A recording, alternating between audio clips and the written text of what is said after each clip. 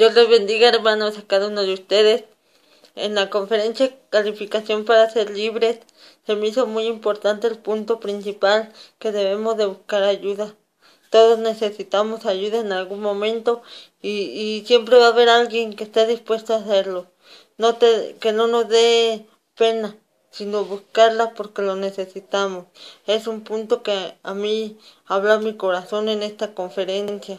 Y otro punto es el creer, creer que podemos ser libres y creer que la sangre de Cristo tiene poder para podernos limpiar de todas ataduras y opresiones.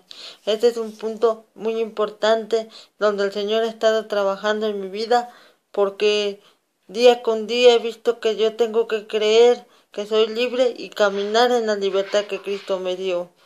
Otro punto importante que el Señor habló a mi vida en esta conferencia es que debemos de confesar nuestros pecados, pero no solo confesarlos, sino renunciar a Él para que podamos caminar en santidad y en libertad.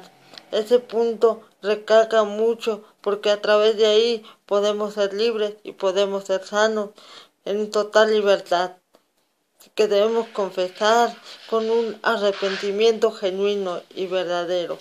Solamente así podemos estar bajo la cobertura de Papá Dios para que nos cuide y para que nos dé más sabiduría, guardarnos de todo pecado y de acorrucarnos bajo sus alas para que no caigamos de nuevo y volvamos a la esclavitud de donde Dios nos ha sacado, de donde el Señor nos ha hecho libre por su sangre y por su llaga fuimos nosotros sanados. Gracias.